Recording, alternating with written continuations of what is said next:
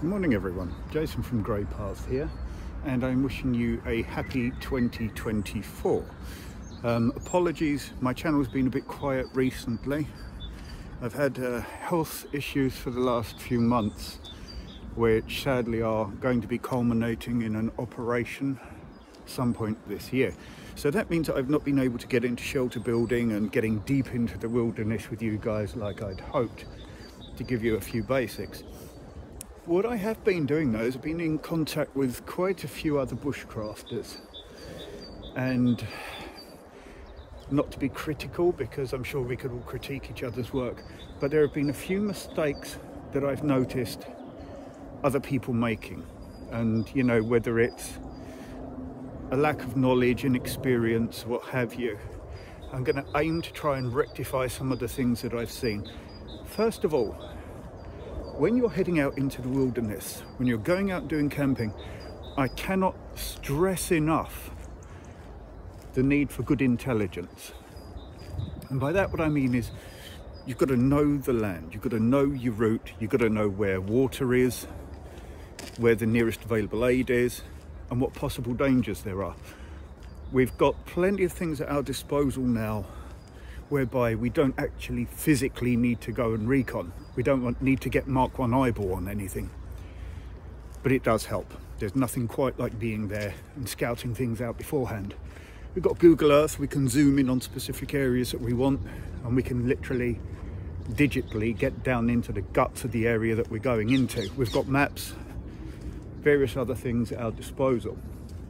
What I have noticed is overconfidence there was a couple of bushcrafters that put up videos recently. They thought they knew the lay of the land. They thought they knew what to expect and they ran into trouble. You know, one of them ran into some drug addicts. He didn't scout the land out beforehand to see if anything had changed. That's the overconfidence. I've been going to certain areas now for probably in excess of 30 years. Okay, and I always check it out because there are inevitably going to be gaps between when you go to an area and when you go somewhere else. Things change, paths get overgrown, holes get dug, and an example I'll give you of that is we were doing some night camping, group of four of us, and our overconfidence in our youth led to someone being quite badly injured. we were at night, we thought we knew the area, a fox or something had dug a hole. My friend found it. He was out for 14 weeks with ligament damage. Now, if you're deep in the wilderness and you're overconfident because you think you know the territory, you don't take into account the micro changes to the environment when we're not there. If you find yourself with a broken ankle in the middle of nowhere, you're in severe trouble. So never be overconfident, always do your recon, if you're planning on going somewhere and you're planning on spending a few days there, go and check it out the week before.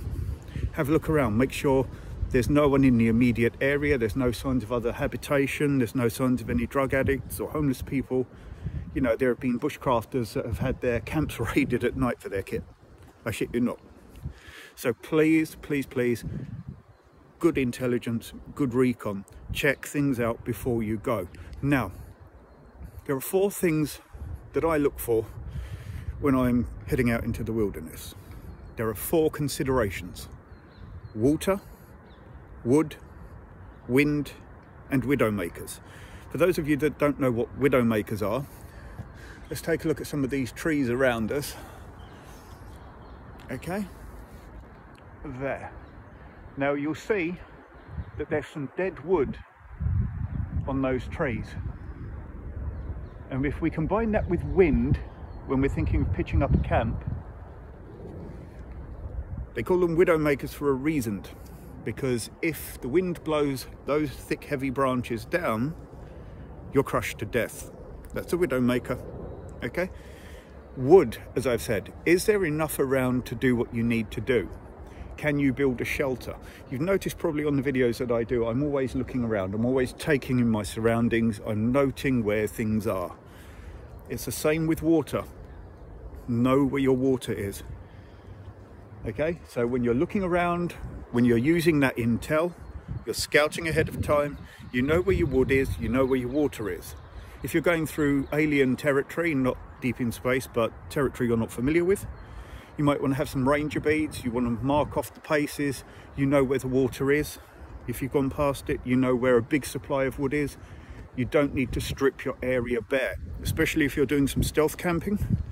You don't want to make it obvious that you are there. So always take into account your surroundings, what you're walking past, where these things are, any significant landmarks. Water. Again, this is something, it's critical if you're planning on staying in an area. Yeah, you're going to need access to clean water. There are lots of ways to get it, and I'm going to cover that in a later video. But a critical mistake I saw a bushcrafter make recently was that she had seen a lovely area of river. The river was down, she camped on the riverbanks. It rained in the mountains overnight. And guess what happened? The river came up, swallowed her camp. She was pretty lucky to get out of there with the speed and the height of the water as it came down. So not only consider where you can get drinking water, but consider the threats of water. If I'm near a river, I will be 200 meters away from it and I will be on elevated ground if possible. That way, if there is a flash flood, you've got the time to pack up your kit, you've got the time to get safely out of there. So take that into consideration. Wind is another thing to take into consideration, not just with regards to widow makers, but also with regards to shelter. Again, something I saw a bushcrafter do recently was that they were on top of a hill and it was incredibly windy. They found an old stone structure, they strung their tarp up over the top. But the thing is, with wind, is it will go up the hill and it will go over the top of the hill. And they were right on the top of the hill. It got under their tarp, lifted it against the stone structure and shredded the tarp during the night. They were drenched, they had to cool things off, okay? Wind and its relevance to your shelter and your safety cannot be overstated. What you want to try and do is if you're on a hill, you want to try and find somewhere over the other side of the hill. So if the wind's coming from this direction, imagine my head is the hill. Yeah, if the wind's coming up and over, you want to be this side of it. And you want to be about halfway up and use any available shelter that you possibly can, taking into account, of course, widow makers and such being around you. So all down with good intelligence, good experience, and the knowledge to do what you need to do safely. And that's what I'm trying to impart to you here. So remember, wood, water, wind, widow makers. Those are the four critical things you need to take into account when you're planning for shelter or you're planning an extended bushcrafting session away from home. Know your terrain, okay? And always be careful possibly to, if you're getting into late hours in the day, take with you a stick, probe the ground. If you can't see anything ahead, the stick will give you everything you need. Okay, if there's a hole in front of you that you wouldn't have otherwise noticed, the stick will tell you that the hole's there. You can then move around it. And I will be going through some night navigation as well at some point with you. And I look forward to expressing that knowledge directly to you and hopefully you'll find it useful and put it to good use in the future. Anyway, remember those things, wood, water, wind, widow makers. Remember what I said about wind and water and good luck out there. Don't make the same mistakes other people did. We can learn from those mistakes. Take good care, friends. See you soon.